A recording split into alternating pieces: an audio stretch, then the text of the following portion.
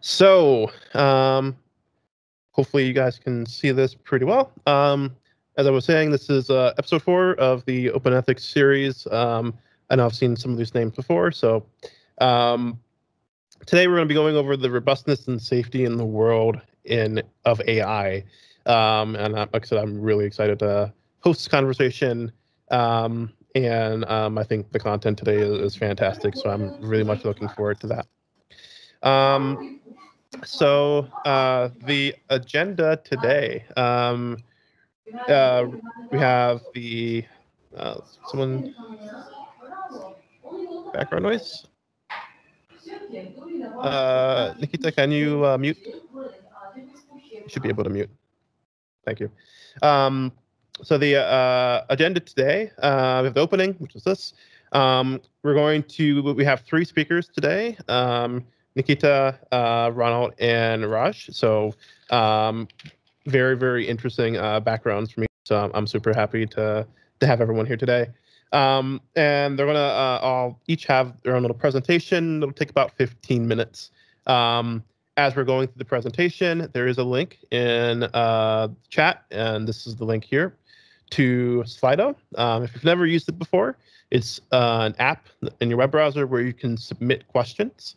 Um, so as there are questions um, during the the presentations or just you know questions that you come up with throughout the entire um, session, feel free to put them in Slido, um, and we'll uh, address them after um, the the the um, individual presentations.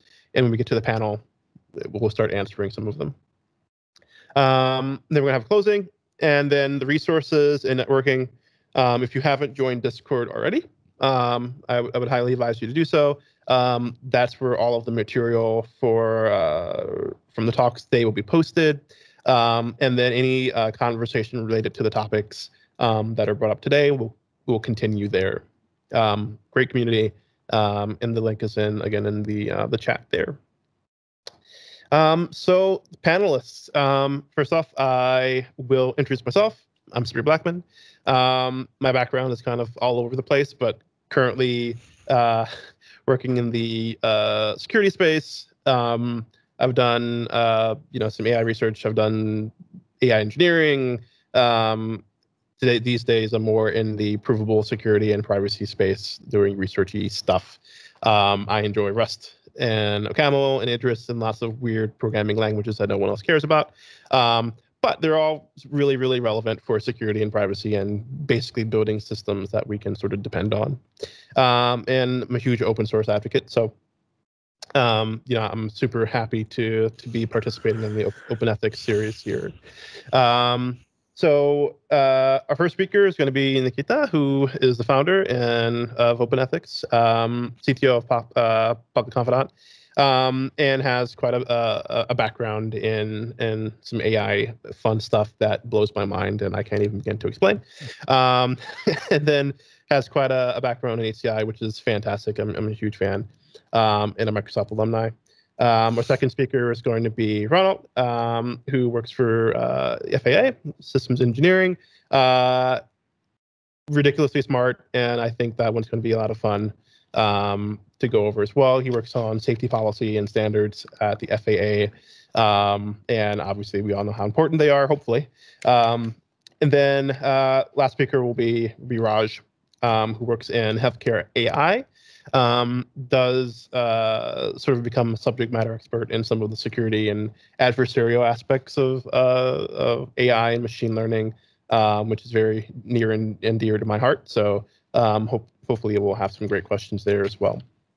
Um, and if you're on Twitter or LinkedIn, um, uh, hmm. hashtag Open Ethics Series is sort of like the. If you have it, please tweet um, anything interesting, any thoughts about uh, about the talk, um, the talks that you hear, any questions that you come up with. Um, really trying to engage it beyond sort of uh, the, the folks that are here um, on the call today. And I think that's it. So um, again, links for for things. I'll show this again at the end so that we're not um, not missing anything. And um, I will introduce Slido. Um, and so Uh, again, this is the the link for everyone who is. Um, this will be you know how we will uh, poll uh, questions and things like that. So you can uh, submit your questions. People can upvote your questions if they you know share the same question, and this will be where we uh, pull questions for the panel discussion.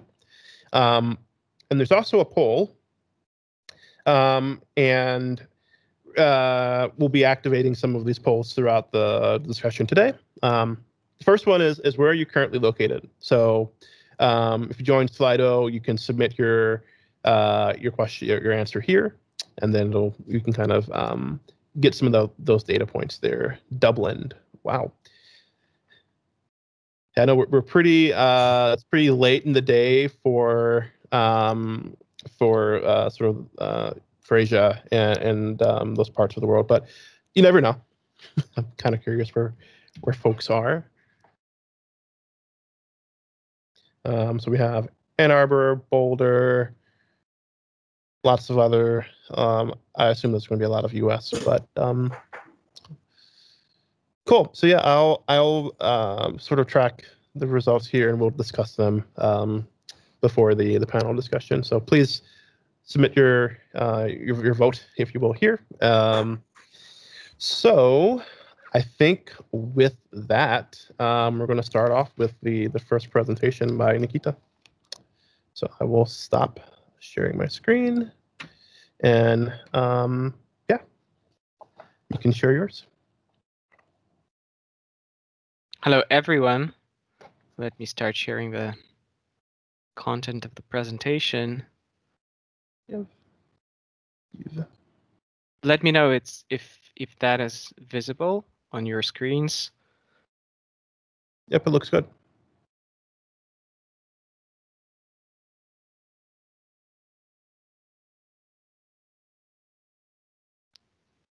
Okay, so there is something I need to do first before jumping in the presentation is swapping the the screens this way. Um, so hi again, uh, I'm founder of Open Ethics uh, Initiative. It's a community initiative, and today I would like to talk about Open Ethics Transparency Protocol to build trust with users of autonomous systems or users of any decision-making system. And what I want to talk about today is, uh, first of all, to, to, to bring this into a discussion space, uh, not to a solution space, but just to make sure we, we very, very much understand what, what problems are in front of us. And second is to bring some uh, bring some ideas that can address part of this problem, not not the whole problem, because whole problem is not yet uh, is not yet addressed and is not going to to, to be addressed in in the very near future. So uh, let me start with this. This is a regular narrative uh, narrative that is available to all of us today, and we see it frequently in the news. AI beats humans, human lawyer, human doctors in a specific narrow domain. Uh, and what I want to be clear with with all of you, some of you are coming from from the AI space, uh, and some are not. Some are working on uh, in the different domains of either software engineering or uh, human rights. Uh, what we need to understand is that AI ethics is not about this. It's not about Terminator style scenarios. Uh, it is very much about what actually we can control and what we give machine control of. And if we look at uh, machine decision making, if we break it down into uh, several stages, uh, we can look at perception, decision, action, and then evaluation of decision. And obviously, we want to do better at every of those stages. And what is happening today, the landscape the landscape of the of the regulation is pretty complex and and I would say that what we what we start observing is the competition between uh, between different standards of regulation or what should be achieved. And there are countries who have several uh, several groups working at the same time. Uh, of course, European Union is working on their set of regulation. Even in the European Union, in the European Commission, there are two groups. The one is a par- par- parliamentary group, and another one is, is a set of committees that are working on uh, establishing uh, establishing the guidelines and and transforming these guidelines further on into standards. what this uh, what this leads to is that we start getting many and many of those regulations where, where every uh, where every regulatory initiative or ethics guideline initiative uh, is defined based on a set of uh, requirements. And one of the requirements uh, is security and safety. And this is a particular reason why we are all here today to, to discuss uh, this requirement, to understand where it fits, and what can we do about this requirement. Uh, what happens if we do not fit uh, those requirements or if we don't think about how we train um, train our system and how we use them later on. Uh, I I recently spotted up this picture and, and for me it's it's a fun way to talk about the environment for learning and, and how can we how can we change completely the way our system acts if we put if we put uh, our system with the wrong parents or in the wrong uh, in the wrong learning environment. So what do we want to do? We want to improve on each of those. So what what should we do? What can we do? Uh, the situation today is that roughly 70 or even 80% of devices and services and applications that we uh, are in front of us today are using one or another form of AI. We typically don't call it AI, we, we call it spam filter, or we call it a recommendation system, or we call it OCR. Uh, the reality is that majority of users, or not the majority of users, a big portion of users are not trusting, or there is no way for us to, to build trust. So how, how can we establish this trust? And what uh, one of the ways to to establish trust uh, that we're aware of is bringing a top-down regulation. So what top-down uh, regulator would would do, the regulator will uh, allow a certain set of technology or a technology that that satisfies uh, with uh, with their feature to be present on the market. Uh, there is going to be a certification body uh, that will that will say whether this technology is allowed to be there or not. There will be an issuance of the stamp, but this is one way of regulating uh, of of regulating what's available. And another way of regulating what's available is a bottom-up approach, where market where market regulates what's present. And this is what I want to talk with you about by a very simple analogy. And this is this analogy is coming from the food industry. So what uh, what we know that there are different kinds of food, and uh, some of them we want on the market, and some of them we don't want to be present.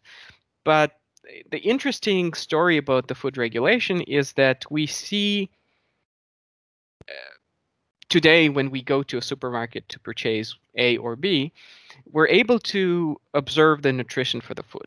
And existence of this uh, a, a governed language to sp- to speak about the food or to disclose the food is very much the source of the regulation apart from having the top down um, uh, regulatory procedures safety procedures certification procedures.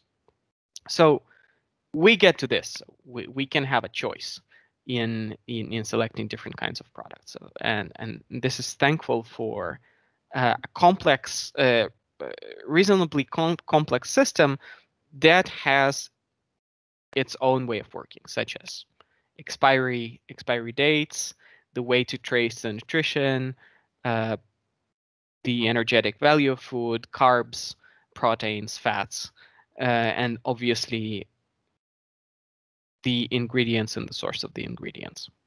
What is weird is that uh, through the last 30 years where personal computers have become a part of our life, personal smartphones, personal apps, and personal algor- algorithms, we still have absolutely no idea of what's inside uh, our product or our, our digital products. And, and strangely, the only tool we have up to date is privacy policy or terms and, and terms and conditions. And uh, this is a huge barrier and the source of asymmetry in the market because on one side, producers know knows everything about the about the product, and on another side, consumer doesn't knows nothing. And uh, where it leads is that we tend to click I agree, I read, I accept, without actually knowing uh, what do we agree on. And that's fine uh, or relatively fine when the issues that we're facing are only related to privacy. Well, maybe we can lose a part of our identity due to the security leak, or maybe we will be exposed to uh, a very strange uh, use of our data. But what is happening today is that we're starting to see in front of us uh, tools that make decisions on our behalf or make decisions for us. And this is where uh, this is where we are more exposed than we were than we were before, um, since since we have the operationalization and and wide use of machine learning products that are trained based on our data. So what can we do about that? Well, maybe we can follow uh, the idea and start uh, start start disclosing. And of course, disclosure could be of a different types. We can disclose forcefully or voluntary. And open ethics is actually about this, about, how can we transform the disclosure into something very simple, human readable. And to do to do this kind of disclosure, we don't only need to standardize the, the language of disclosure, uh, but we also need to transform it into humanly consumable, viewable, understandable, and very simple uh, descriptions of the product, such as uh, this product is selling your data, or this product is uh, using your data for decision making with legal consequence or financial consequence or any other or any other uh, type of consequence uh, or this product is using your personal information for research purpose. Why not? It could be as simple as that and it shouldn't be more complex than that because we don't need to have uh, a legal background to be able to understand uh, understand what happens to us and what kind of risk we're facing. But before coming to or, arriving to this uh, situation, to this state, we have to be uh, we we have to be able to speak on the same language, and this is what we're building in in Open Ethics Initiative. Everyone is, of course, uh, invited to join. But what what what I want to talk to today about is about the background work that we called an Open Ethics Transparency Protocol. So, what is Open Ethics Transparency Protocol? Um, it's a way of sharing the information about the uh, about everyone who takes part in algorithmic decision making. Uh, why this is important is because more we move into microservices uh, architectures where we employ multiple different uh, vendors in our decision making or in our data processing. We need to also understand what kind of risk this bring to to our overall and complex solutions. How do we do that? And the and to to do that, what we propose we propose a mechanism of backward chaining mechanism where every uh, every vendor uh, comes up with the uh, with the file that describes uh, their measures that are securing privacy, their measures that are securing uh, that are uh, brought and are making product safe, their measures that uh, that contour bias, discrimination, improve value sharing. And this file, we the information in this file we call an open ethics vector. By the analogy or or by the by by the principle that every decision is made in in its own uh, in its own ethical framework, and what we we we can decide which decision decision is right or wrong, but what we can specify is we can specify whether decision this decision is a part of one frame of thinking, and whether it has uh, it has certain um, criteria implemented. And what we do then is uh, we're able to give provide this information, assign this information by voluntary disclosure to every vendor. What that means is that vendor goes through a specific uh, specific survey plus plugs in a script that does uh, technical audit into their uh, into their uh, product and comes up with the voluntary uh, with voluntary disclosure. And what this disclosure does, basically, it plugs in into a into the processor downstream and into a data processor downstream again and again and again so we get the overall picture of uh, of the thread, and we're able to then uh, do the do the validation or transform this picture into uh, this set of visual labels. So what is the, the process is very simple.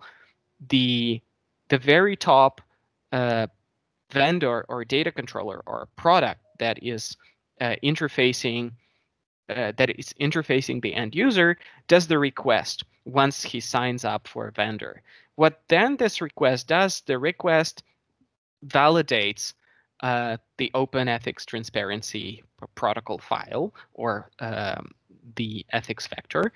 Uh, what it means about validation is we check if the disclosure uh, corresponds to the signature that was issued during the disclosure. So it's valid. We don't verify whether the where whether the disclosure is true or not because we don't have a means for that. It's the technical audit should be done for that. But we're talking about the validate only. Then what it, what we do, we do the request for chaining. And what we we chain this information and we look down and we look at all downstream vendors who supply their files. And once we collect all this data, we do the disclosure. So this is the final disclosure. Basically, every vendor upstream is providing their disclosure uh, downstream, and we collect all this tree, uh, all this tree of disclosures. How does it look like for the end user, or where the where is the use case? The product owner, or the owner of uh, of the user-facing product, what he is doing, he has the complete version of, of this file. He's responsible for his own product. He's responsible for, for his own disclosure. Then if he works with the developer, if he's the if he's a systemic integrator, he looks for all the transparency protocol files, standard files uh, from the vendors. And what then this file, uh, yeah, what then we do with this file, we transform it into something human readable, like those set of icons you have you have seen to the end user, so that the end user can demand and can filter by those criteria that he wants. And the protocol file is a standard JSON file, which you, some of you may have been working with, operated with, that has a certain uh, certain set or list of uh, list of elements. So, for example, here uh, we're talking about the aspect that concerns the validation of the data, whether the data is critical, and where and what kind of validation we use. So one of the methods that is presented here, presented here in this file is human in the loop validation uh, for for the healthcare for the healthcare product, and this kind of disclosure could be presented and then checked upon if we if we do have this standard way of talking, but not the not the legal jargon that has no way for industrial um, for industrial law enforcement or for industrial standard enforcement. So this is very much where where we are today. We have launched the very first version of the label, and I want to uh, to invite everyone to go in and test it and understand how it works. So later I can provide the link in in Discord uh, share it and and and answer questions also during this discussion. So what we're working on right now is the definition of the complete transparency protocol to move it then to an open standard for such a for such a disclosure, and then so that either OpenEthics or other uh, players will build an open platform that can use this uh, this files of disclosure to make users more comfortable, more um, so that they can trust the products and and everything. So this is the uh, this is the roadmap that I have, and I want to finish it with three uh, three aspects that that we uh, really advocate for is the accountability, augmentation, and appreciation by design. respecting values uh, and goals of every human, uh, augmenting human capacities but not replacing it, and treating humans over tool, almost like an agile manifesto. But um, uh, that's uh, uh, that's it, and I'm uh, open for for questions and open for any context that you want to establish later on. Thank you. Thank you for that. Um, very, very cool. So yeah, if you have any questions about um, uh, about any of the material, um, any of the topics you want to follow up on, um, there is a link uh, for Slido in the chat. Um, and uh, actually, Nikita, if you can post that again, uh, so that doesn't get lost, that'd be cool. Yeah, sure. Let me let me repost it. Yep.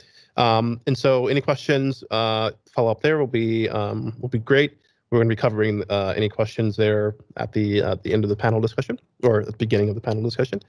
Um, I did have one question for you, um, and so like I, I I think what you've described, Nikita, is like it's multidisciplinary, you know, by intent. Like you know, uh, there's a lot of uh, product owners in different disciplines and different communities who um, are you know who have a stake in this conversation um, like how for for folks who come from different backgrounds and you know different domains like how is that uh, process of collaboration working now? And like you know if they wanted to join like what would that look like? Yeah so yeah maybe it's worth sharing the the screen on my side uh, just a second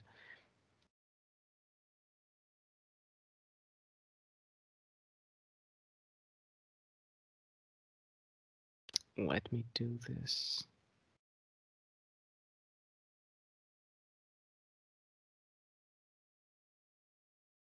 So um, there are several ways contributors can contribute to to the to the project. Uh, so one way is, of course, to join the initiative. But what happens next is is very much up to you. You can promote and be an active ambassador of the of the initiative share the manifesto, first read and understand if this actually resonates with what you think and how things should be, uh, how things should be. What our beliefs are is that top-down regulation is good; it should be present, but that it's not sufficient. Uh, because if we if we actually want to do not only uh, checkboxing uh, and making sure that all the rules are uh, all the rules are satisfied on paper, we need to include a consumer, a user, an end user to the process of uh, choice and informed choice that is not happening. Uh, that is not happening for digital products. What what is happening for digital product? You can't you can't choose before you use. So you have to use the product first, and then you choose whether you like it, whether you understand, and whether you treat the risks right. But what we want to push it to, we want to push it that you choose first, and then you use. And you choose based on uh, the risks uh, that you're aware of, uh, based on the disclosure. Because if we, if we, if it comes to a food products, the story is very much the same. We what we see in the supermarket is not validated by anyone, right? But at least we have this information. We can take this information, and if it's not true, or if we were if we're not satisfied, we can we can go and object. We can go and um, and create uh, create a request to the to the producer or to or to the vendor uh, to reconsider the presence of the product on the market and uh, I think this is what worth worth uh, worth to be built for uh, for the technology space, uh, especially for consumer consumer type of applications. Uh, this is promotion part, uh, development part. be part of the Open Ethics Transparency Protocol review. Help us to build this standard language. Help us to write code. Help help us to build a platform. Educate. This is what we're doing today with Sabri, Ronald, Raj, we are uh, bringing information about how to uh, how to talk about ethics in a very concrete way. And uh, of course, uh, people or companies who want to who want to engage in it, they can also donate. But it it gives no obligation. We don't do any preferences for those people who donate. We really value uh, donations, but we uh, we do not do preferences for companies with donations. Uh, that's uh, that's it, and thank you thank you for questions. So I was able to cover it. I hope to uh, I hope to see people uh, joining the initiative and and pushing it forward. Absolutely. Thank you for that overview. Um, yeah, I think um, that is uh, a good segue into the next talk. Um, and so I am going to activate the next poll. Um, and if you haven't, um, Teams, there we go. Very good. Um, so um, we have quite a few results. Uh, we do have some folks in, in Asia. We have some from Korea.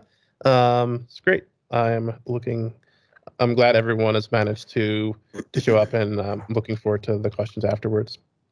Um, and so, the next poll: uh, What are your key safety and robustness expectation from AI systems? Like, um, I'm sure there there's quite a few, uh, uh, a lot of opinion and sort of a lot of um, you know expertise in, in the audience. And so, how does that sort of translate into uh, you know, what are your expectations? What are your requirements? And like, you know, what do you need for this to work in your industry and in, in your domain? Um, and I think that uh, hopefully we'll have some some interesting uh, answers here.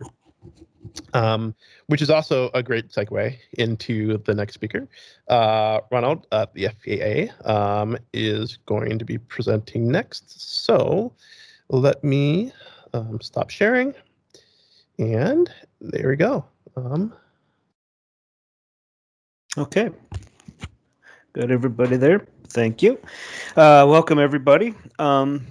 I'm going to walk down through uh, another type of example, and this one is from uh, the critical infrastructure side of the house. I uh, want to thank the um, uh, open ethics group for the opportunity to speak today, but also want to um, identify that the concepts that I'll be talking here today are those of mine and not necessarily the official position of the uh, Federal Aviation Administration. So, uh, quick bio. This is in the thing. I'm not going to go over it in any detail. Just provide some high-level background. Didn't know how we were going to do this today, but so um, the first slide is really robust uh, and safe AI and setting the stage. Um, I come from a world that uh, work in the critical infrastructure sector, specifically transportation. There's about uh, 16 or so of these um, uh, uh, that, uh, various countries deal with.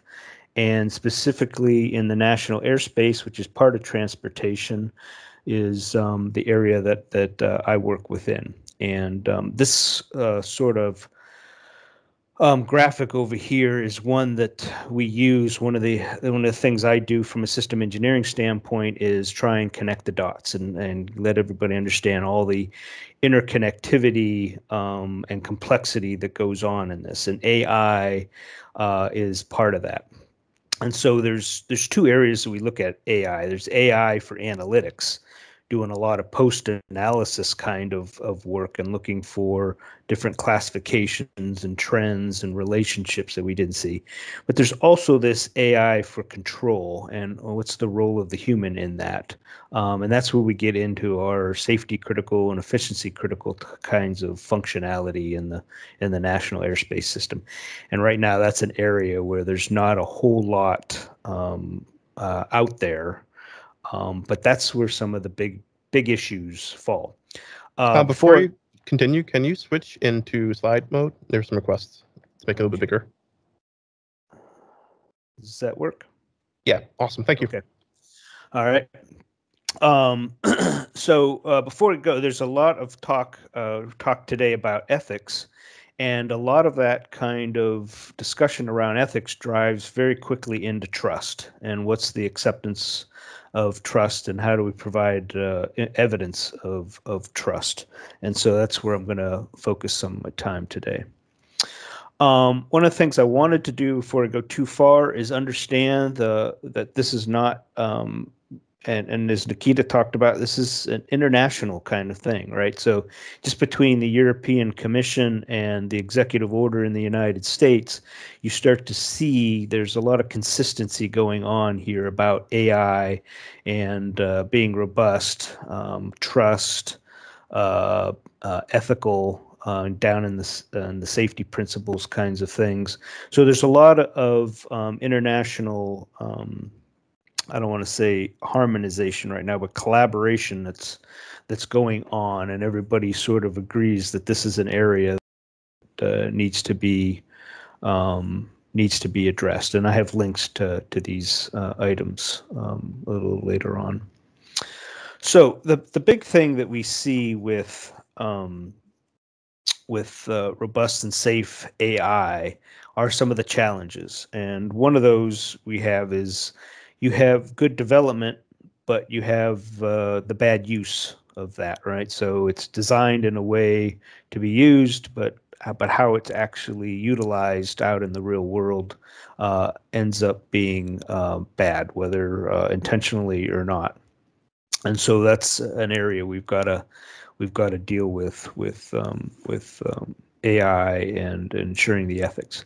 The other one is this human AI collaboration. Um, Nikita talked a lot about this. It's not about AI taking over the role of the human, it's about augmenting um, and assisting.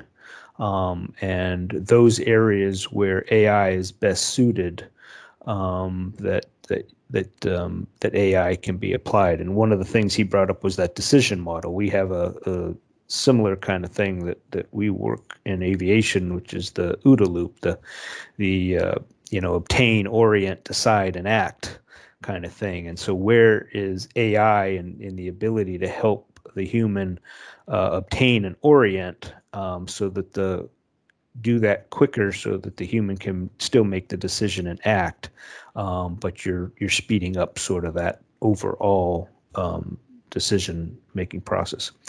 And the third is is a lack of common values. So we talked a little bit about there's a lot of things going on and not just in Europe and the United States but all over the world, but what is that common set of values in terms of AI ethics and trust and things along that lines which gets us to standards. So what are some of the mitigations around that? Well, good AI development and good use. And how do you how how make you do that? Well, you can uh, develop these AI ethical principles, and you can apply those, and you can, um, as Nikita was talking about, be able to validate, and the the human is in that loop to make a determination that it's that it's being done right. Um, another big area that that um, I talk about in a lot of different um, uh, forums is uh, not a lot of people are talking about the underlying organizational transformation that has to occur um, for uh, AI to, to get into the operational sort of realm. The um, the, the things that we do today in terms of policy, in terms of uh, data, in terms of development, um, those are all uh, based off of um, uh, systems that are driven by a set of requirements. And a lot of these systems are now going to be driven by data. Um, and so what does that mean? And then and then a lot of these models and algorithms are sitting in software items and hardware items to support an overall system. So how does that all work together? You also have um, the skill sets and the workforce the, behind behind all of that that has to be worked. You've now got um, data scientists that are now in the game um, versus operational and uh, software um, software specialists and hardware specialists. So this underlying organization has to also begin to um, to move and move maybe from a also from a development process of waterfall to agile or hybrids of, of such of that. Um, another component uh, folks are talking about are you know codifying this right into the algorithms that that limit what the algorithms and models can do. So even if they're given um, uh, maybe suspect data, that it it recognizes sort of that, and so you codify that. Uh, next is the human AI co- collaboration I talk about. Um, current policy right now, at least in the United States, is keep the human in the loop.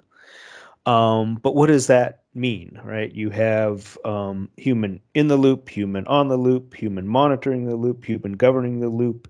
Uh, how does that play against the various tasking types that may occur in this? So, a lot of that kind of work um, uh, needs to to be done.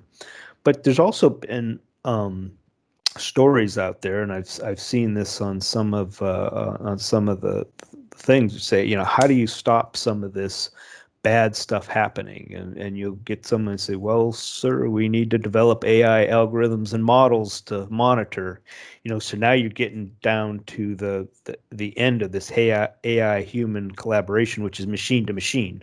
And now, do I have AI machines monitoring AI machines? um, and and what does that mean? And so uh, is, is, that is that the right kind of thing? So those are some of the things, and uh, and then last is the standards to promote ethics and trust. And there's a couple different things going on. There's Joint International Committee SAE G34 EUROCAE one Working Group 114 that I'm going to talk about about AI and aviation. Uh, you got IEEE standards, ISO standards. There's a lot of standards out there on AI and and and some stuff going on, and some of them are are uh, general based, and some of them are sector based. Um, like I said, the SAE EUROCAE stuff is very aviation based. um, so one of the areas I want to talk about is trust. Uh, the National Institute of Standards and Technology in the United States which under the uh, executive order was is responsible for defining how the federal government um, engages in the development of, of standards. And so they've begun to, to put together um, some things. And so they've come out with these uh, AI trust properties, and it's very high level right now. Like the, there's research going on about what each of these mean, and then how does that feed into these uh, standard development organizations to turn these into technical uh, requirements uh, in which a vendor or an applicant can show compliance and a cert authority can make a finding of compliance. And so that's explainability or interpretability, resiliency, fairness, uh, reliability and accountability um, are are four of at least what the National Institute of uh, Standards and Technology is is talked about. Right, explainability, understanding what's going on in that model and algorithm, and and and what is its scope, and how far, and how much can it learn and change over time um, resiliency in terms of I, I see resiliency wrote a paper on this um, a couple years ago about of resiliency. There's the protective phase, which is all your safety and security and sort of your known hazards and vulnerabilities, and you do what you can to mitigate those. The second phase is then this detect and respond. Um, because you have a series of unknown failure modes that you may not have thought about or beyond the the ability to um, to actually uh, mitigate them because of uh, uh, extraordinary costs but you still understand the end consequence. And so you've got to be able to monitor and then respond to that. And then of course the final is to the is to recover. Um, so how can we do that um, from an ai ethics uh, ai trust uh, world. Um, fairness um, in our world, that fairness is a, is about our uh, diverse users, um, not not really uh, talking about uh, age bias or gender bias or race bias. Um, but in, in our world of uh, the National Airspace System and aviation, it's about the diverse users getting equitable access to the airspace to operate like they want. Reliability, as we all know, um, meeting its intended function and doing it in a consistent way. And accountability is uh, being able to trace the actions and changes.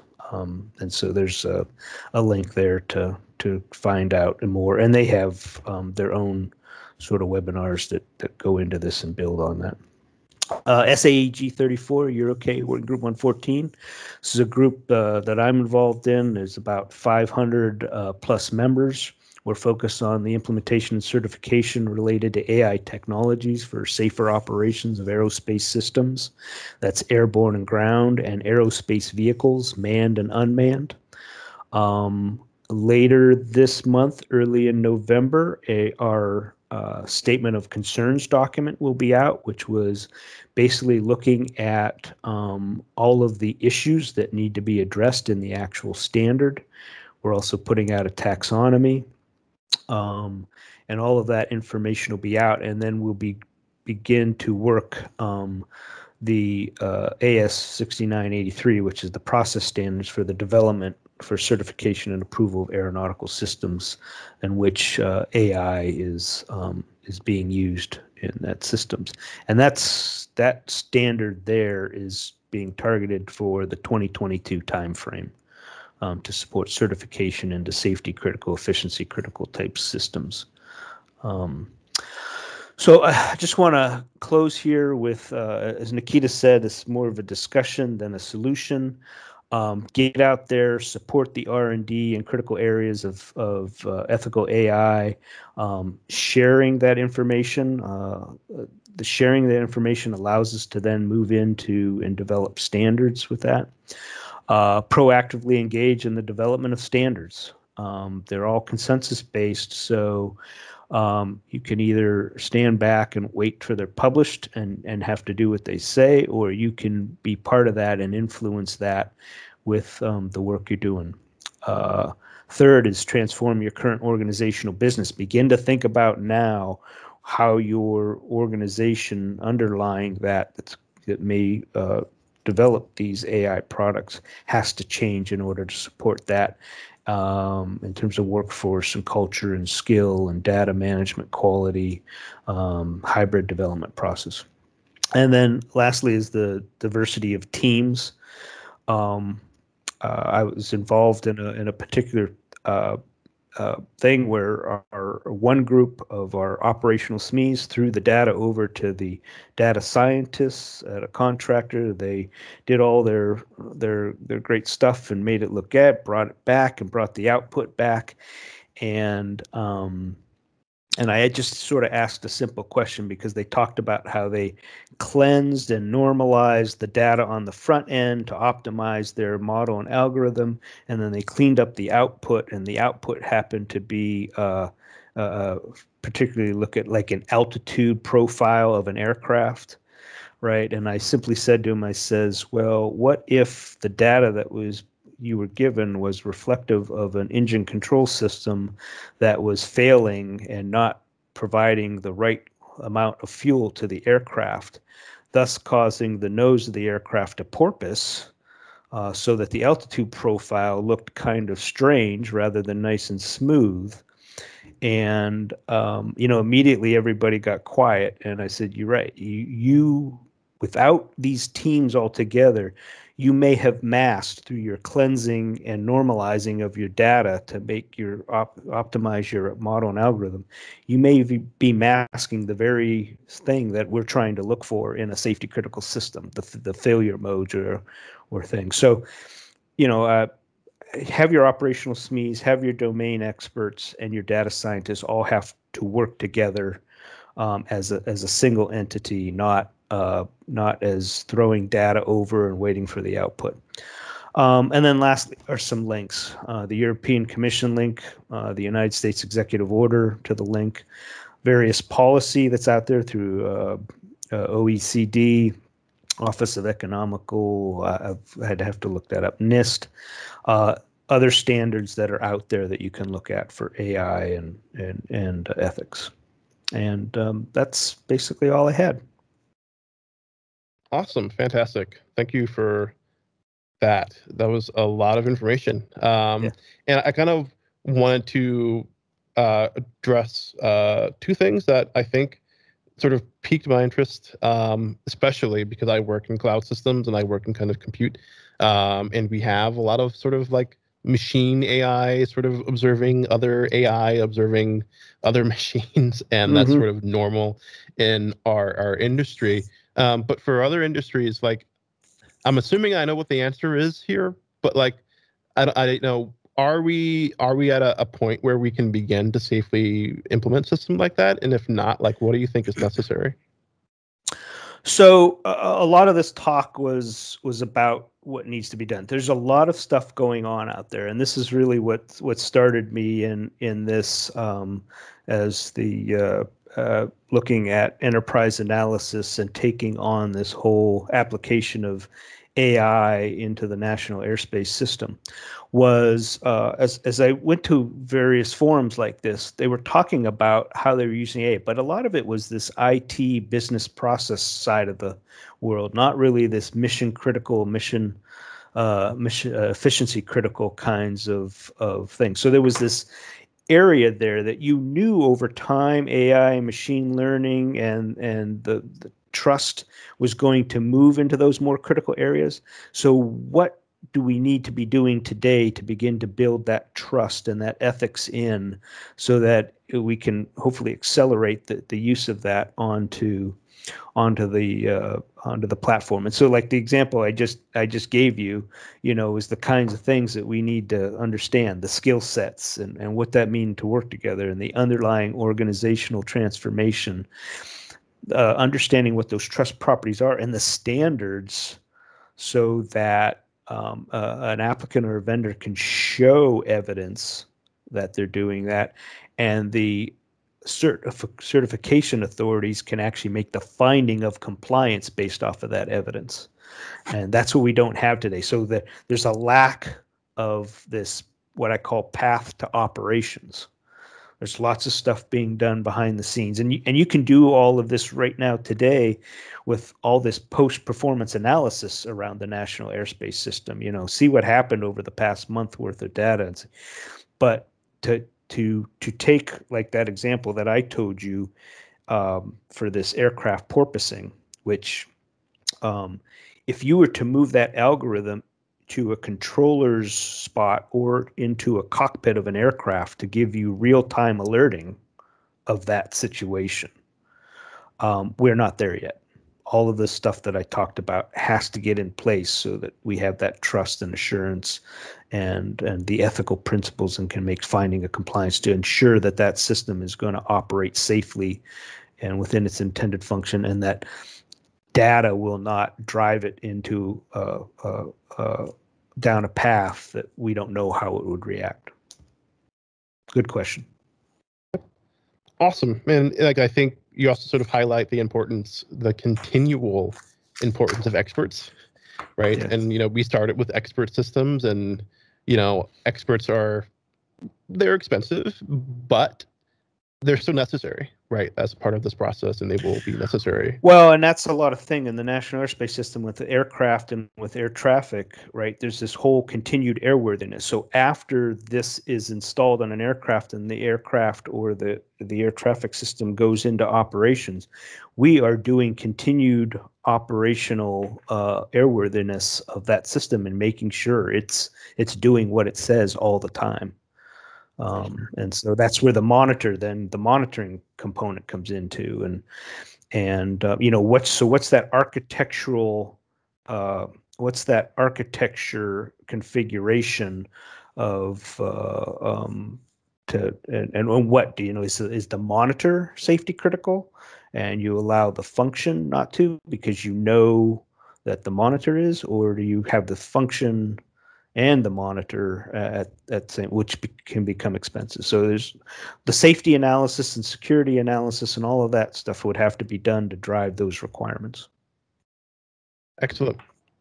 Awesome. That's a lot of very useful information. Um, again, I'm, I'm thinking through a lot of these problems right now in the compute space, and we haven't even begun to talk about standards or or any of these sorts of things really in a, in a meaningful way. So um, you know, I, I, think that that's extremely cool. Awesome. I will. Um, like you're raising your hand. Yeah. What do you have to say? Yeah, yeah. I have just a, one little question to to to Ronald, uh, mm. given given the presentation. So, Ronald, you mentioned at least two times failure modes for uh, and defining failure modes and, and for for the system engineering, and I think it's one of the one of the most critical areas to make sure that our systems fail in the, in the way we want them to fail or in an expected way. And I wanted to to to stop here for a minute or two to talk about design and disclosure of failure modes for AI systems. So, wh- what is your take on it? How do you view it and see it happening in uh, aviation industry? And how would you extrapolate this to to a broader set of applications? So uh, we sort of have it today through our safety management system and our our cybersecurity um, certifications. You know, all of that has to to to be assessed, and and all of those. Um, and and it, it comes back to those known failure modes and what's an acceptable level of risk, which comes back to the standard, which is going to define that that everybody has agreed to. Um, but there, and this is why I wrote the the resiliency paper a couple years ago, was because sometimes we'll get into a situation where we say, well, you know, that's that's that's ten to the minus ninth, or that's ten to the minus tenth or eleventh. So the chances of that happening are are very slim. Well, something comes along, and of course, you can look at an accident and you go, that was never supposed to happen, right? The the consequence is the same, right? I mean, whether whether somebody fat fingered something into uh, a flight management system on a cockpit, or somebody intentionally drove something into the flight management system or the air traffic automation system, um, the consequence is the same. I lost service. Um, so the the second part of that resiliency is the monitoring and detect. And then what do I do when I lose the service? I, am not worried about okay, I thought maybe somebody would fat finger the wrong thing in and and shut it down, and here were the here were the the uh, steps to to fix that. But I've lost my service, and and here's what I have to do to recover. So um, getting back to your thing, I think that's already in there. The question becomes now, or we need through all this research and and and through this kind of stuff, understand what are the failure modes of of AI, machine learning, and any of this emerging technology. That's what we don't know. We've we've got a history of hardware and software now, but this whole AI machine learning, I, I, you know, I was I've been taking some some courses and they walk through all of this in detail and stuff but, but then the instructor says but don't worry about it. At the end there's always there's already these pre-trained algorithms that you just run your stuff through and it'll be fine. And i'm thinking to myself no i can't do that. I need i need to understand because i don't know where that pre-train came from and and whether it accounted for uh, my sector of the critical infrastructure. So um, so that's where a lot of the the research, and I think, you know, once you, I'm always, um, I always come from a, a top down and then move back to bottom up. But a lot of people like to drive the low hanging fruit, and I think we've talked about this, Nikita, in some of our very early. You know, they grab that low hanging fruit, they get that simple algorithm and, and model, and then somebody comes along and say, "Hey, can I use that for?" And they go, "Oh yeah, well let's try." You know, whereas if you think about like I said, if you wanted to use that algorithm I was talking about earlier and put it into the cockpit, there may be certain things that I need in terms of ethic principles and explain the level of explainability. Just think about that of a system that I'm working with post analysis versus a system that's alerting on the cockpit. The the explaining, you know, so I may want to try at that low hanging fruit what that means so that when I get up here, it's that same algorithm that I was using for post analysis can be used on real time alerting um, on things. So, uh, and then from there, you know, I break I break down. I, I, one of the things I do right now, real quick, is um, which started me on this. I started going to some of these symposiums and they talk about fraud detection algorithms and models, right? Which is what are they looking for, right? They've got a history on you and they're looking for something that doesn't seem right. Something that that was outside of this connecting the dots in this this little tube or or they see two purchases at two different parts of the world at the same time or very close and know that there's no way you could be in these two locations. Well, I can do the same thing with with uh, flight trajectories, right? And say uh, flight trajectory compliance. So I've got I've got the plan that the airline put in, I've got the plan that I approved, and I've got the what they're actually flying today. So couldn't I use that same fraud detection uh, framework of an algorithm and model and apply it to trajectory compliance? And when I see a deviation, I I alert so I think that Nikita then is you know how you can then take these and understand that, and then you could apply it to different things in other sectors, um, without just saying, oh well, that's fraud detection, so that's finance, and that has nothing to do with me. Well, nah, I'm trying to say, well, how could I use take the lessons they've learned and maybe apply it in aviation? Just one example. Thank you. Thank you for this answer. Fantastic. Um, yeah, I, I'm I'm kind of curious about like you mentioned failure modes, um, and I think there is definitely still like everything every system will fail eventually, um, but failure by AI seems to be a lot scarier than failure by humans, even if the AI is actually better, right? Um, I'm kind of curious how we we end up uh, how we kind of get past some of those uh, yeah, you may not emotions. realize the AI is slowly being moved right until Mm-hmm. it, it gets to the breaking point, and um, based on your sector, and and then it's too late. So how do Yep. we how do we can have awareness of that? Yeah, very cool.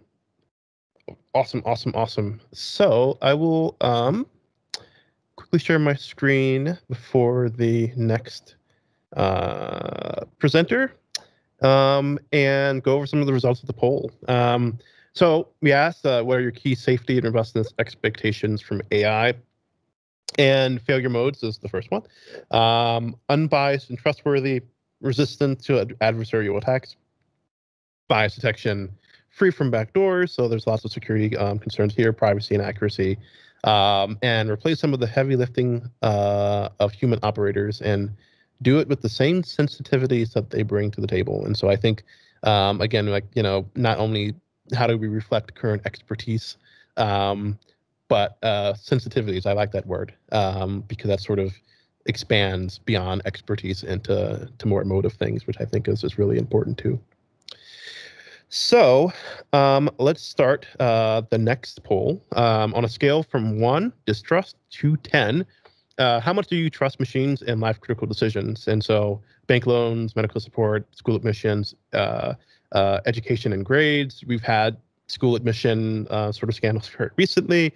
Um, you know, I think we are we are sort of um, familiar with some of the um, uh, banking discrimination and things like that in the past. So kind of curious, like in, in 2020, right now, where would you sort of scale um, your trust here? Oh boy, doesn't look very good. All right, um, so yeah, let's um, let this go. Um, we're going to uh, move on to the next panelist and revisit this before uh, sort of the panel discussion. I'm definitely kind of curious where this, this ends up. Um, all right, so stop presenting there. All right, and so next up we have Raj, um, who is, um,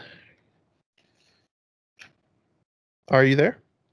You're there. Yeah, thank you. Okay. Yeah. Very good. Awesome. Um, I couldn't see you. Your camera isn't on. So, um, and he's going to be going over um, some uh, addressing some of those adversarial things and security things. So, I'm very excited to um, to hand it over to him. Yeah, thank you, Sabri. So I would like to share my screen. Uh, please let me know once you share. Um, sure.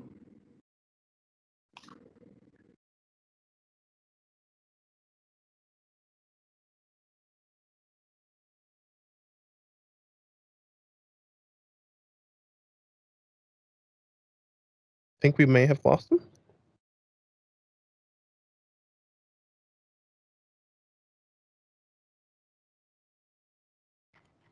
Yeah, it could be just a second. I'll ping Raj. Okay. Yeah, I think he, the internet connection may not have been the best.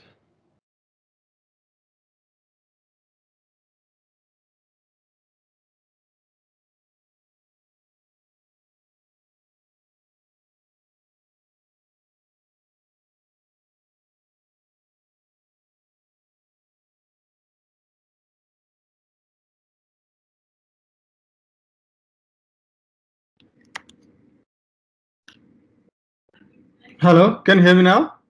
Yes, we can hear you. Yeah, sorry, I don't know what happened. Just uh, disconnected. So when, okay, can you see now, please? Yep, we can see it. You put it in a present mode, and I think we're good to go. Yeah, perfect. Yeah, sorry for that technical glitch. It's, it's always happened with me when you want to, the demo 90% go wrong all the time. So it's a tech. So I think uh, already Nikita and uh, uh, already explained about ethics and, and, AI and how you're going to include the explainability in in the AI and data science world. And it's a kind of challenge. So my experience is all about operational AI, building the algorithms and deploying them so that we can use them on the production. And uh, believe me, it's not an easy task to do that because most of the project uh, are struggling to scale. And, and there are the few things, if you talk about security and data science together, that makes it more complex. So I'm going to talk about few engineering. So previously, uh, so right now, uh, data science and engineering are coming together, and we are we are applying all the engineering tools in the data science to make it scalable and to deploy on the production environment. And to do that, we have some something which has to be got right, and we need to make sure from the beginning uh, those things should be uh, uh, like secure and scalable. So this is kind of my background. So I just passed through.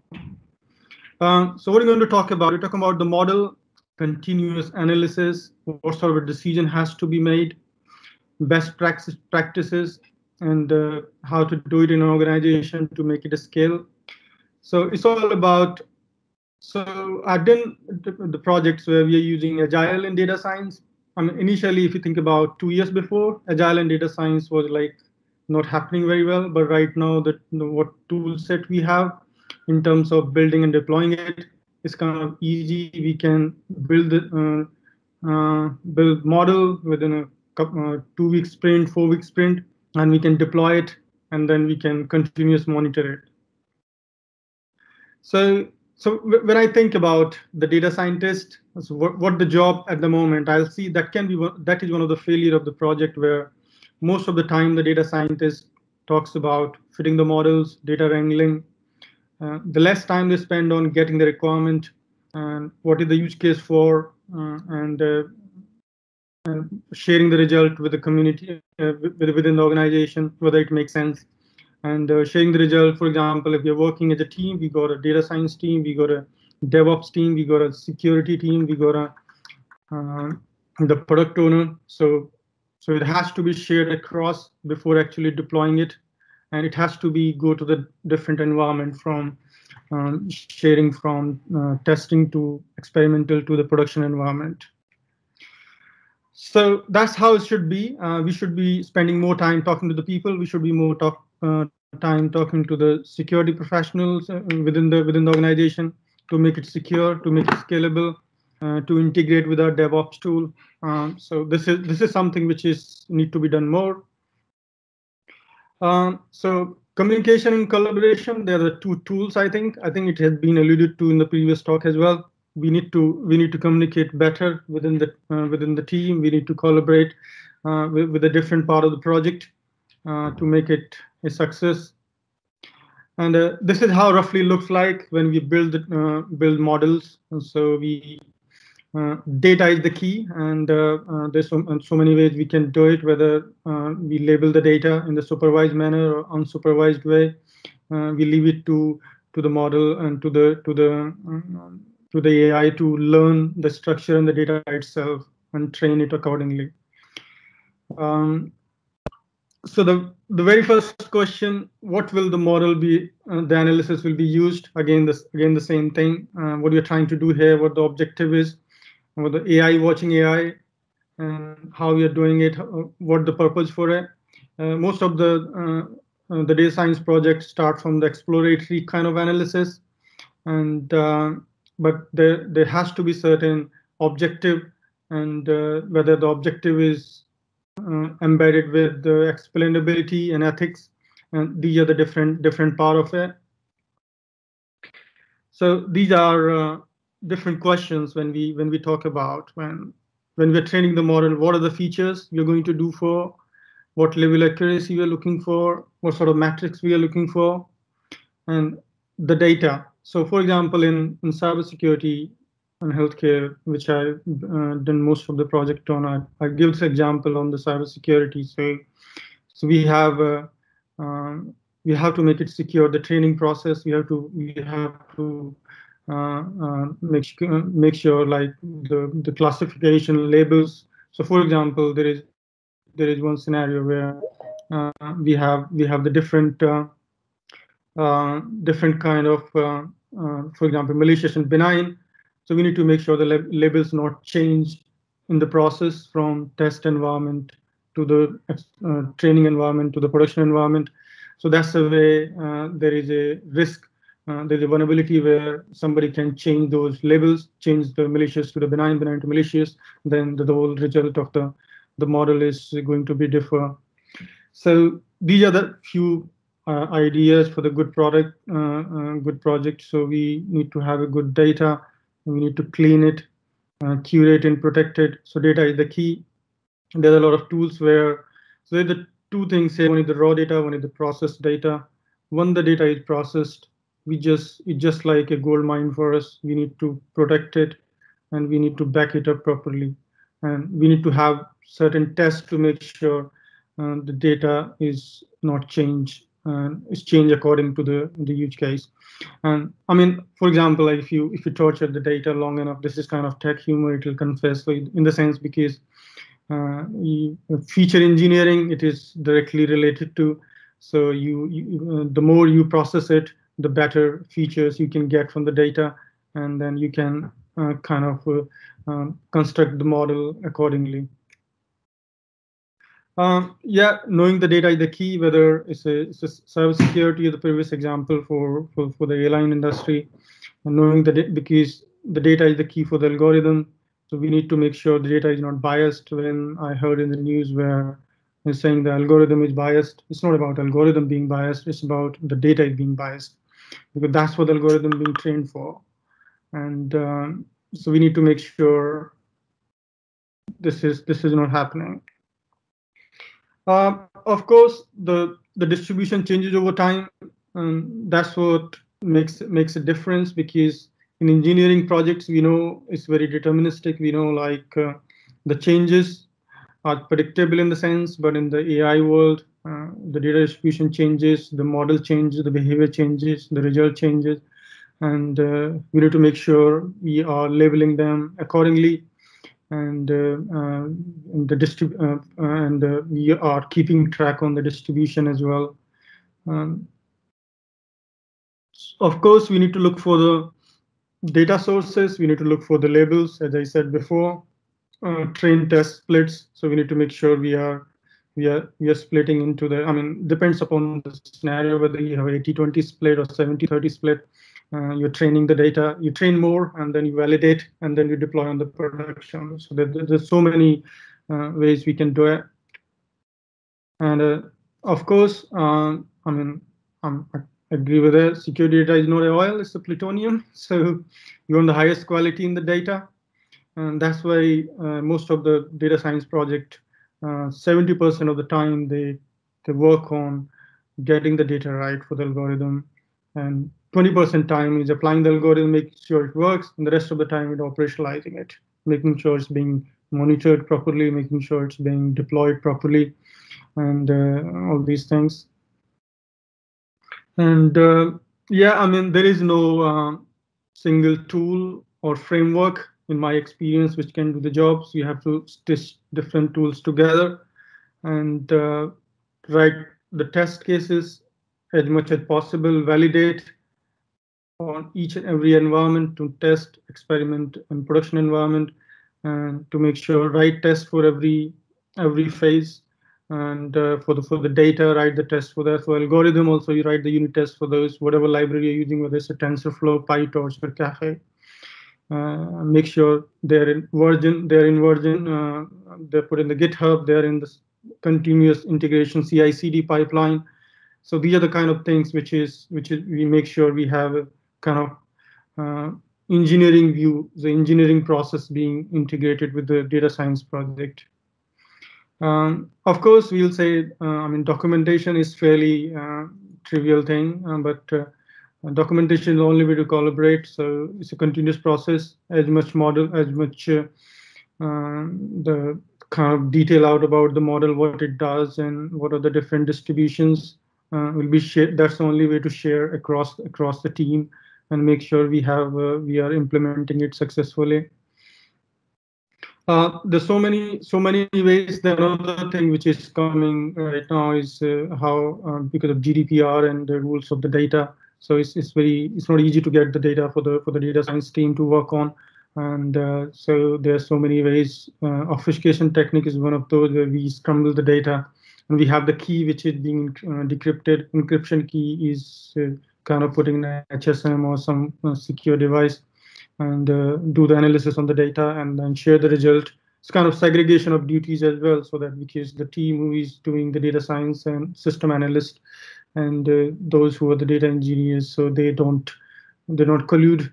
So it's a lot of uh, the fraud and those, those security cases. We need to make sure these things happens in that world. Um, yeah, uh, don't read I mean, when we when you start with, a, with any data science project or anything, uh, as I think some uh, mentioned the the, uh, the pre-trained model, not a big fan of those uh, from the from the beginning because uh, we don't know the, what's the sources they're from, how they're being trained. Somebody put a backdoor in the model, and if you use that, then it, in our system, and that can be exploited. So of course, but when we are building the model, don't jump on the the cool tech straight away or the complicated model. Start slow start with the random forest or isolation forest, then go for the autoencoder CNN. So that's kind of logical progression. And uh, of course, the security models keep on changing, and there is a drift. Data distribution changes over time, and uh, so we need to make sure we are using, we are changing the model accordingly, and uh, all the ground truth changes over time as well. So yeah, um, uh, it's basically it's not an individual artifact. It's, it's, it's kind of giving the idea for the whole project. Uh, so um, so we need to make sure the the model what we are building is for the for the for the greater good is not for uh, kind of yeah one can explore in the exploratory environment but then it has to make sense in the uh, in the kind of strategic view of the organization so when we are building it so everything has to be thought of um, so the model changes. Uh, uh, there is a, a different uh, kind of uh, it happens when uh, you have to cross-check the model. So a lot of attacks can happen, new threats against the models. So that's what is happening because uh, the lot of AI people are using AI to attack AI. So this is happening because because the the, um, the the AI system, which is being the written exploit, which is kind of intelligent enough to go to the system and then understand it.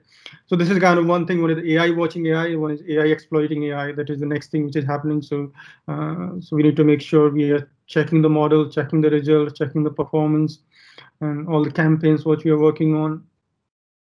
Um, yeah, so delivering a data science project is a challenge and because there's a lot of moving parts in there there's a lot of uh, things which has to be mature and in terms of uh, um, uh, data uh, the processing the data to the delivery to the production for the model. Uh, but uh, there are the ways we can do it and that's me actually. So yeah thank you. Awesome. Very very very cool um, and I think I, uh, you know, this talk is probably um, the most relevant to a lot of uh, what I'm currently working on in the security space.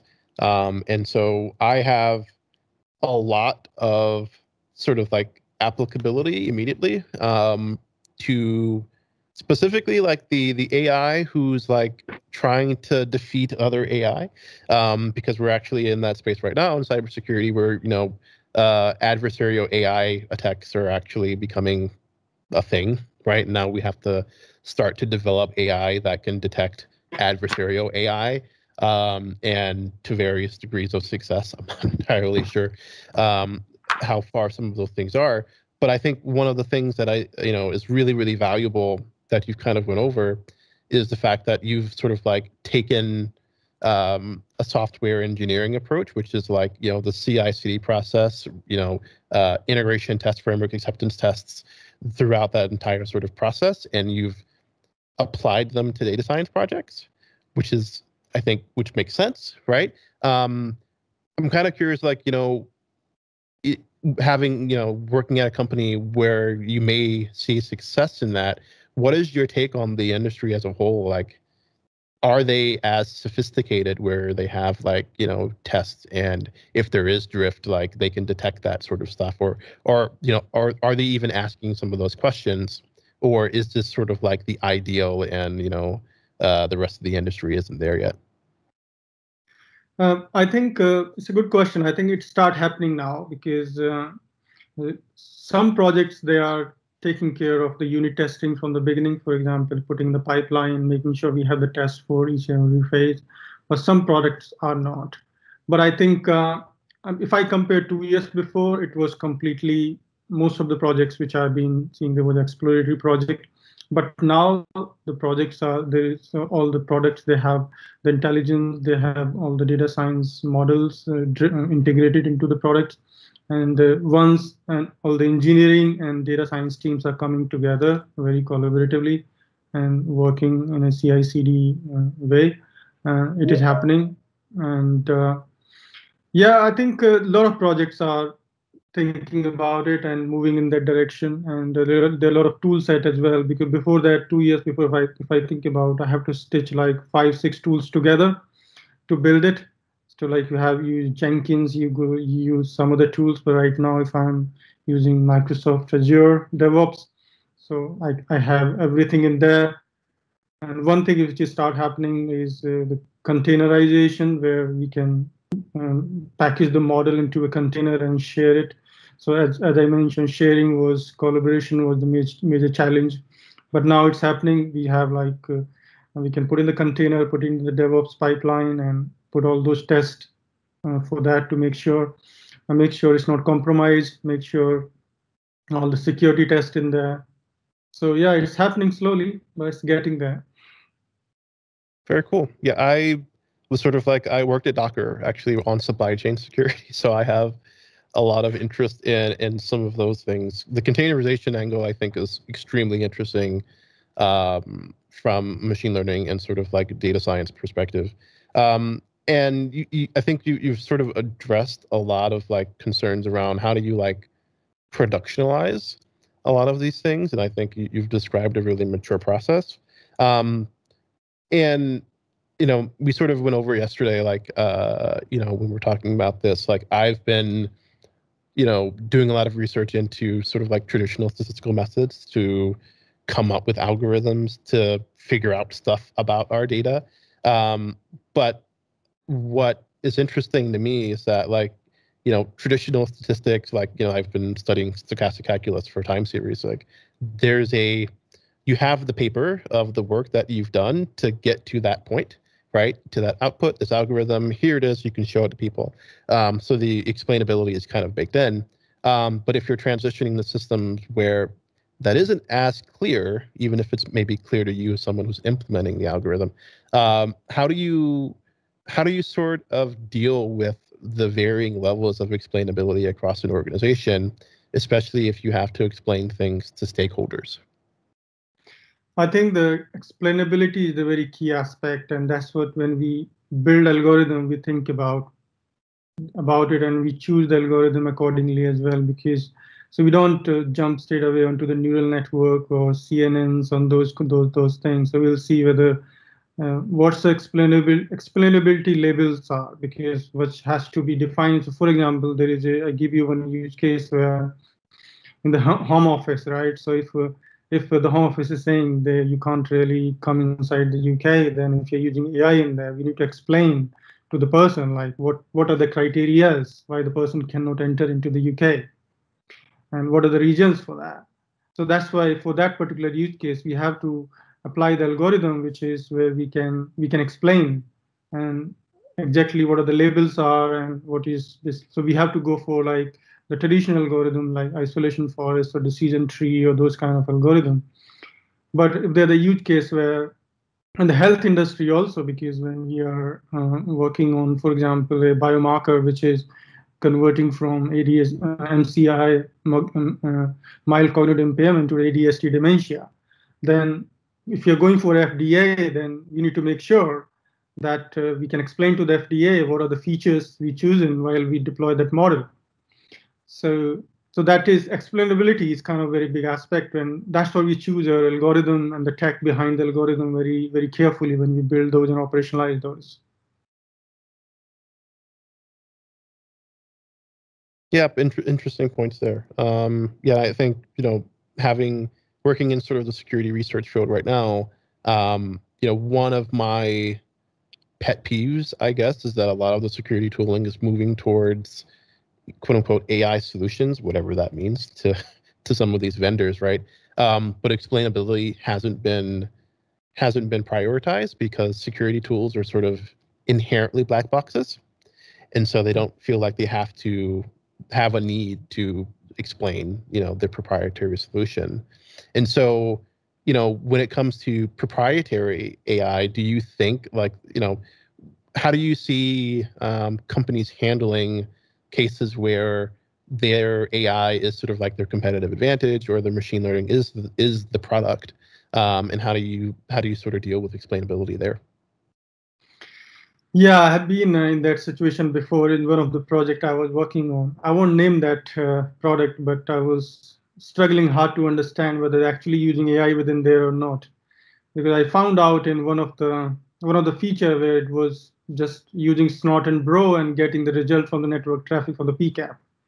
And when I try to reverse engineer it, I didn't. I don't have those tools and permission to do it. So it's it's a kind of uh, I don't know. The trend has to change because most of the cybersecurity companies they they use AI, but but uh, if there is no explainability and there is no traceability and showcase whether they're using AI or not, it's very hard for others to believe. I mean, I was just like one of the one of the uh, accelerator where uh, most of cyber security companies are pitching. So there was somebody was saying funny like, and 80% of the cyber security company they they say they use AI, but actually they don't.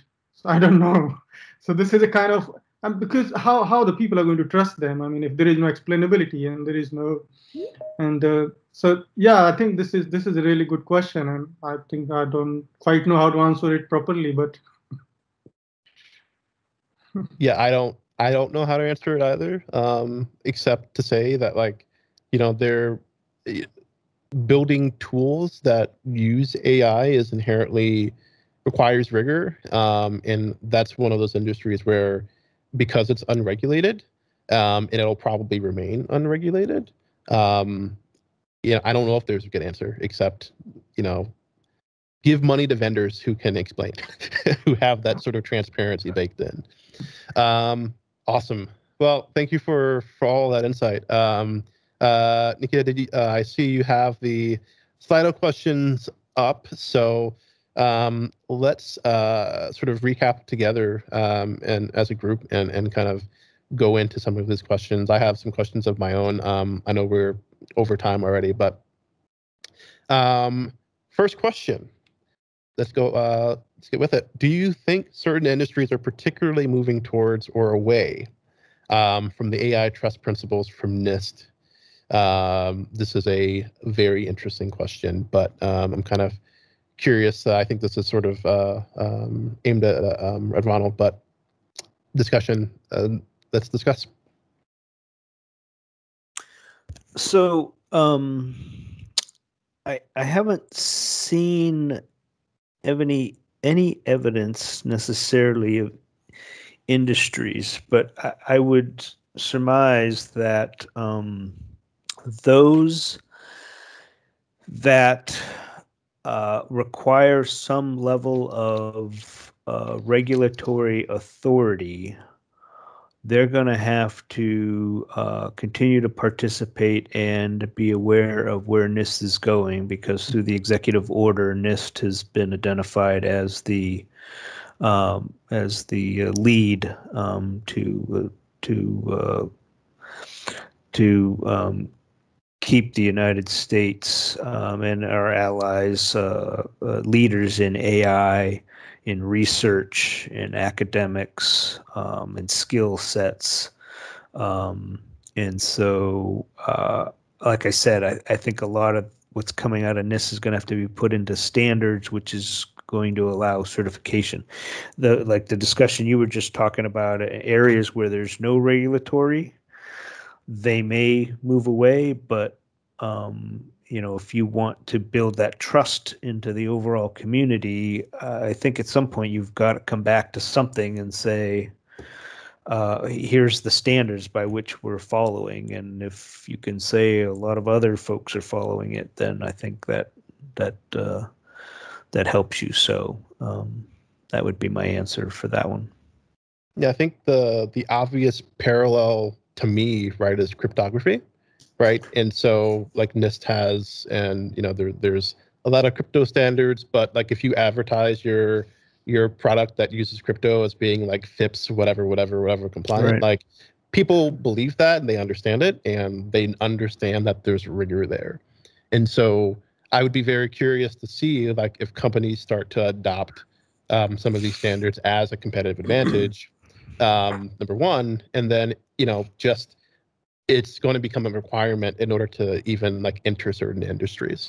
Well, and then you move into the whole liability world, right? Because mm-hmm. if if you don't have anything that you can fall back on and then show that you did your due diligence with respect to that standard um because then it comes back to the standard needs to be updated uh, versus you're out there by yourself. So uh, that you know that's a whole nother um, uh, it's a whole nother uh, market force that can force that too. Yeah, that's an interesting point. Like I think if you're and there have been instances where there's been failure of like a crypto algorithm, right? like that doesn't you're not as a company liable for the failure of some crypto algorithm because it's been acceptable accepted so you have to update sort of the crypto standard right and so i right. kind of see there being a parallel there which is a great point. Um, that would be a good sort of like forcing function to adopt some of these things even if there's some expense. Right.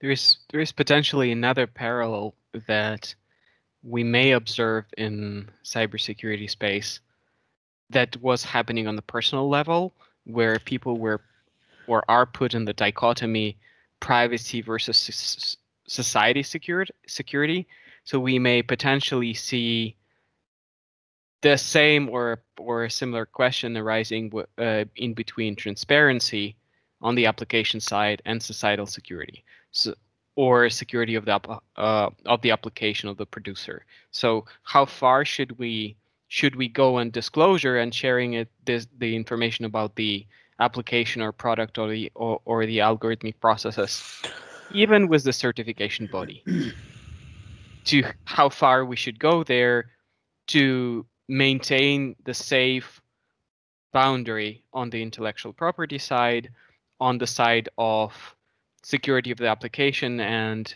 not giving the ability to reverse engineer application by giving the access by giving the access to how things work and how things are explained. Well, and you know, so uh, coming from the aircraft certification world that I, I served in for about ten years uh, on, on the federal aviation side, you know, we've seen a lot. We see a lot of uh, innovation over there, and they have to because of one the the initial uh, design approval the continued airworthiness, but part of that continued airworthiness is accident investigation. So we have to have insight into that, at least from the government side, right? So uh, I know that's been a uh, I, have seen that on the security side. You know, even I've been a big proponent about uh, just like resiliency, this whole safety and security, right? Again, it's it's what is the failure mode in terms of I accidentally fat finger something and cause cause the the system to go down or some or I do something intentionally to bring the system down. At the end of the day, the the the controls and the mitigations on the safety and security side um, you know, may complement each other, or they may conflict with each other, or they may compete with each other. Um, but I ran into this a long time ago when I was trying to bring safety and security standards together in the software world. You would get that. I'm sorry, this is a security issue. We can't we can't let you see what our controls are. And you know, it, it wasn't about publishing those controls. It was about making sure that the systems and and in, in reality we had a situation at one point where because safety was being designed in from the front end and then you know back then you had security came in and did their vulnerability assessment at the end and would add requirements right? Well all of a sudden one of our systems wasn't meeting its performance and we couldn't put it out into the field. And at the end of the day what we found out was you know where we may had a, a cyclic redel- uh, a cyclic uh, redundancy check in our software they came around and put in um, encryption um, and when they did that, it slowed down the processing, and therefore the system didn't meet its overall performance requirements for moving information uh, like it had to.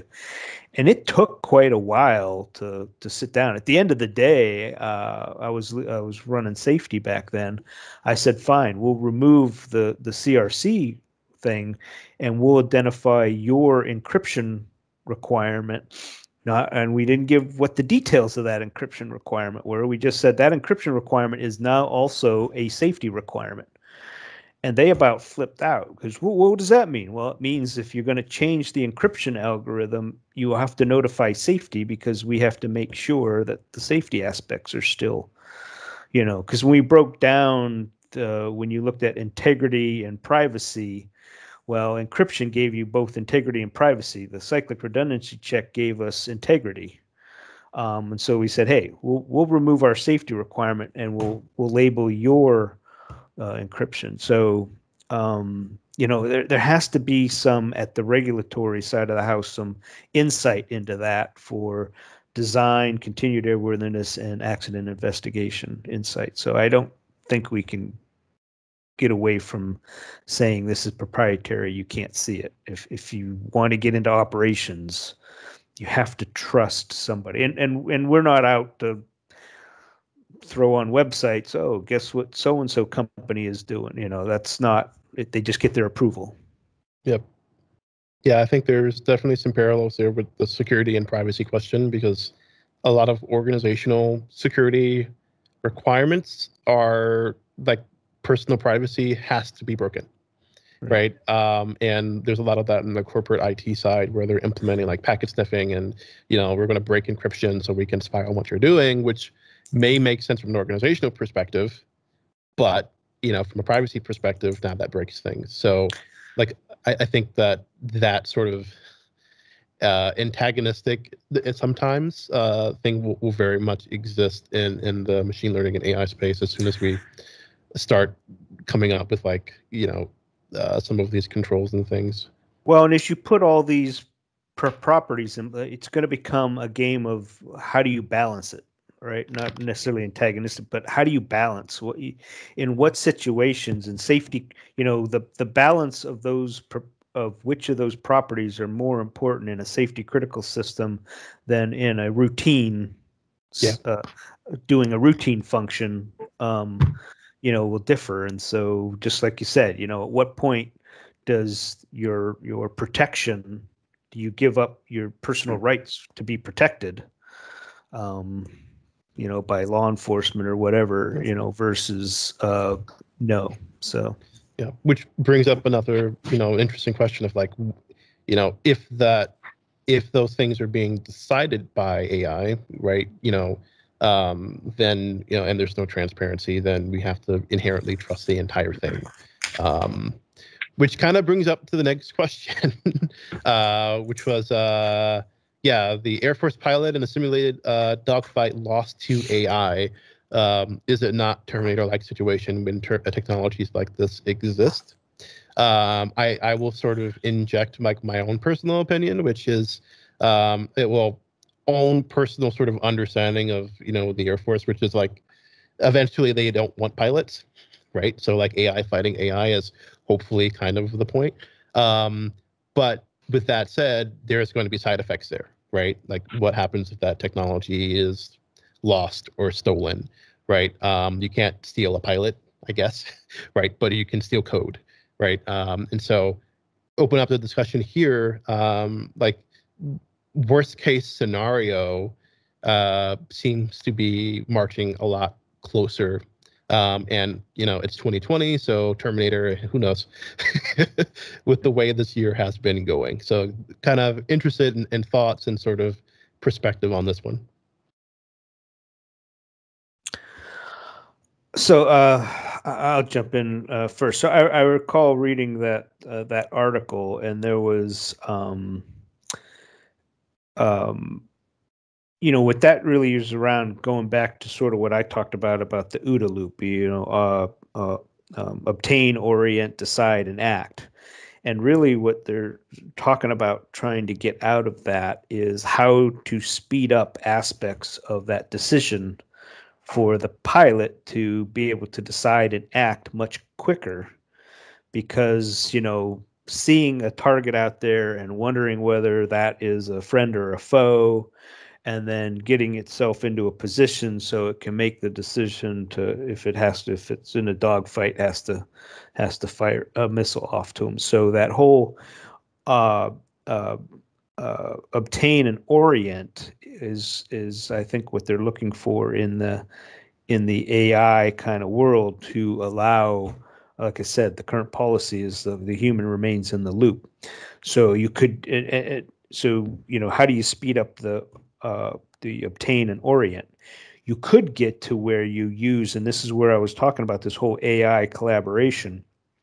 What do you do in that decide phase, right? do you just give the information to the pilot and he has to decide and act? Do you give them recommend? Does the system give the pilot recommendations so that uh, he doesn't have to have this wide uh, uh, wide uh, set of options, but he's got a limited set of options?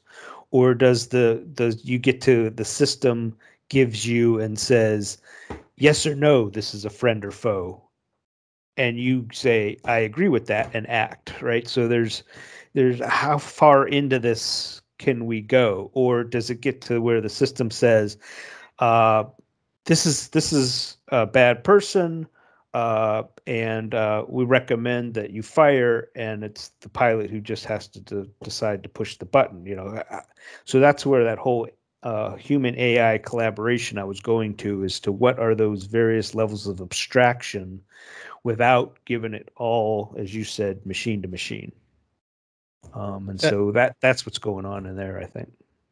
Yeah, um, I think like we will often read headlines of experiments like this and take away like, oh, they're they're trying to build super AI that will kill everything, right? But there there's an actual purpose of those experiments, um, and a lot of that is it's a feedback mechanism into how do we train our pilots better right? Like there's a benign sort of answer there which um, i think is important to sort of like to to identify as well.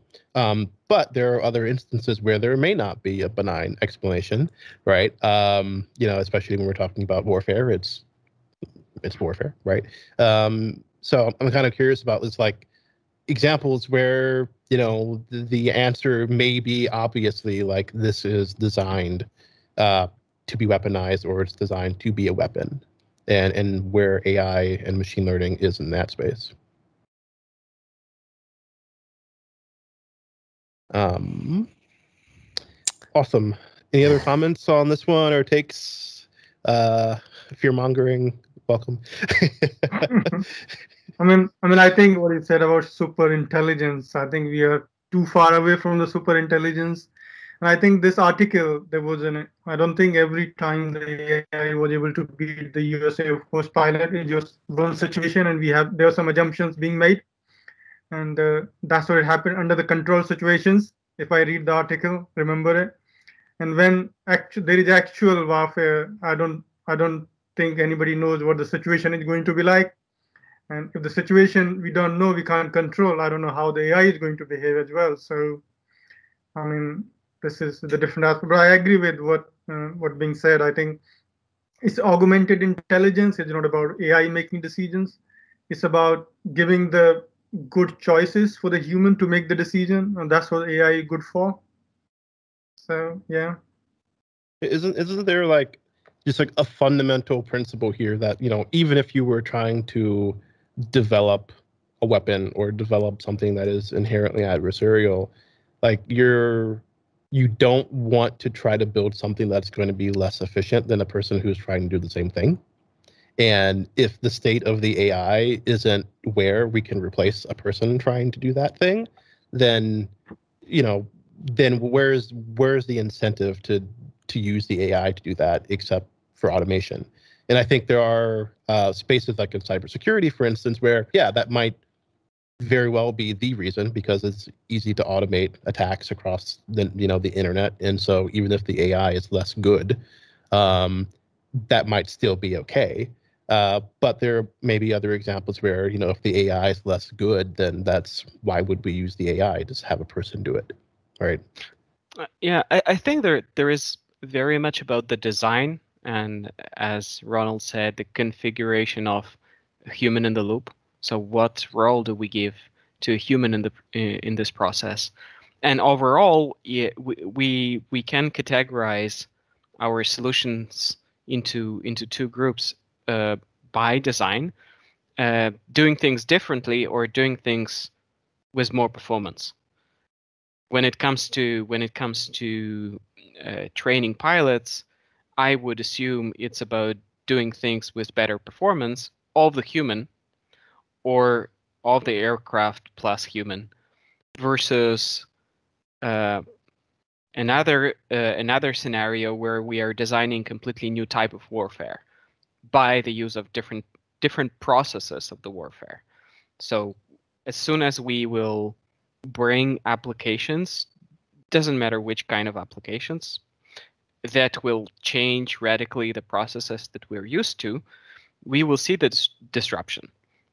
So it's not about doing things a little bit faster or but, but about doing things completely different in a different way because we're able to do it now. Yeah, I think the the novelty is sort of like where I see um, the most interesting yet scary sort of things. Like I think the the adversarial AI is a great sort of um, example of like you know yeah human isn't necessarily going to be able to perform you know the analysis required to break a firewall right? But ai can right over some sort of time and that creates a new class of attack that may be highly effective right? Um, and then now we have to figure out a way to respond to that. Um, i think like there are examples where that's exactly right like there's novelty being created um, but there are other examples where it, it is really sort of to improve existing processes. Um, yeah, I think um, that's a good place to stop, unless there's some other other comments. Cool. Great. Um, there is um, link for Discord. I will repost that uh, for people to follow up and join the discussion. All of the resources, slides, things that you've seen today will be posted on Discord. Um, so be, be, sure to join that. Um, and um, let me check. Is the chat is muted, so no one's been posting on here. Very good. I don't see anything else in surveys. Um, looks like there was a uh, Cool. Yeah, I think we're I think we're good. Covered all the things. So any closing remarks? Um, it's been it's been great having this discussion. Um, very diverse sets of backgrounds and and sort of insight. Um, so yeah, any other any closing remarks from anyone?